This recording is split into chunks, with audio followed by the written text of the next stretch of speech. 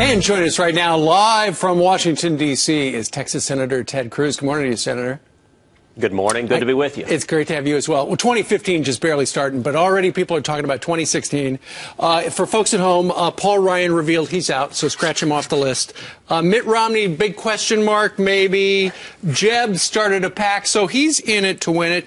And Marco Rubio's got a new book out. It is called uh, American Dreams. He was here just a little while ago, and he said this about him perhaps running for president of the United States. Listen to this, Senator. He's going to be a very credible candidate. You mean you heard reports that he's going to raise $100 million in the first three months of the year. He's certainly capable of doing that or more, really. Right. And, uh, and so that's a lot of money. And I think he'll be a very strong and credible candidate. But if you decide, if I decide that the best place for me to serve this country that has given us so much is by being its president, I'm going to run for that no matter who else is in the race. Okay, so Ted Cruz, what about you?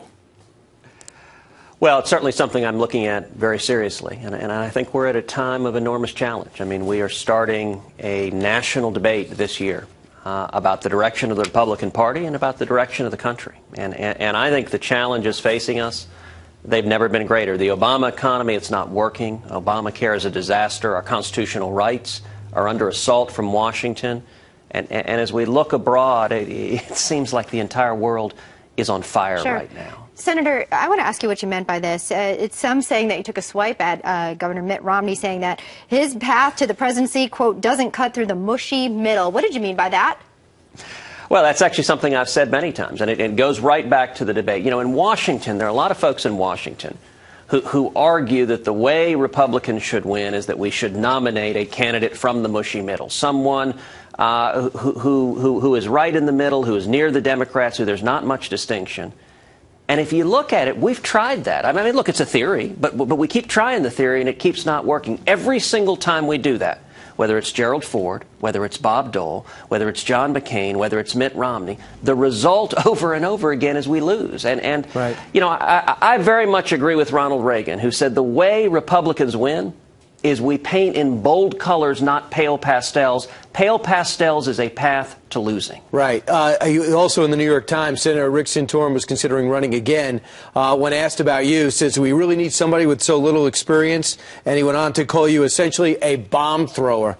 What's your reaction? Do you have little experience and you just throw verbal bombs?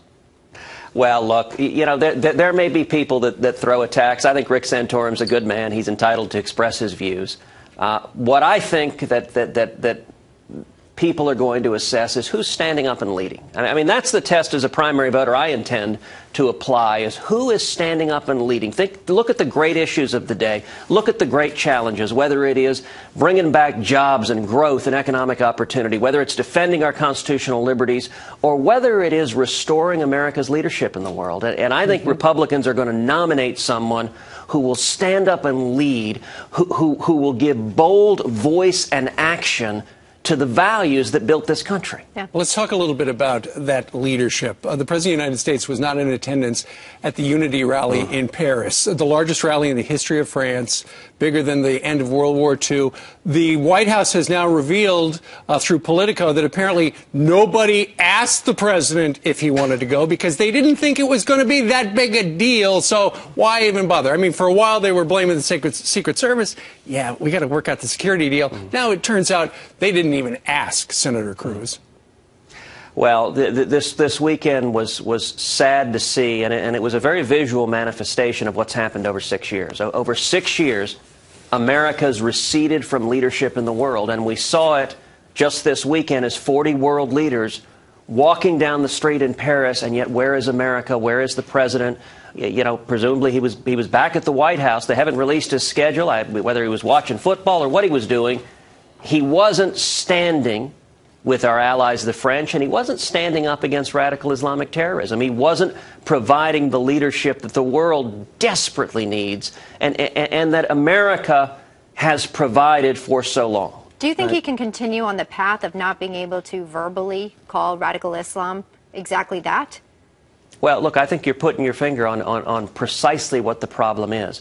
You cannot defeat radical Islamic terrorism if you're unwilling to utter the words radical Islamic terrorism. And, and, and just, you know, look in recent months. I mean, we're seeing this all over the world, whether it is these horrific attacks on journalists, on police officers in, in, in France, or, or, or whether it is in Sydney, Australia, or whether it is in Canada, or whether it is in Israel with, with Hamas terrorists coming in with butcher knives and cleavers.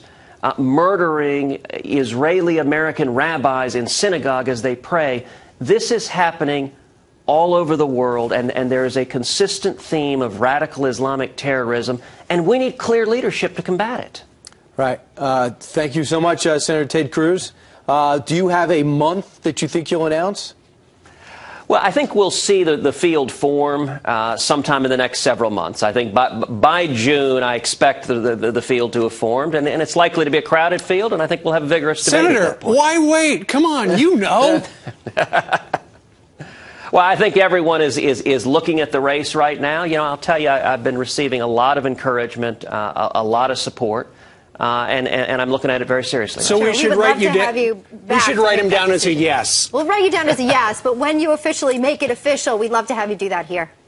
Well, I, I, I look forward to visiting with you with you going forward. All right. Thanks, Senator. Always Thanks, having you on. Appreciate it. Thank you.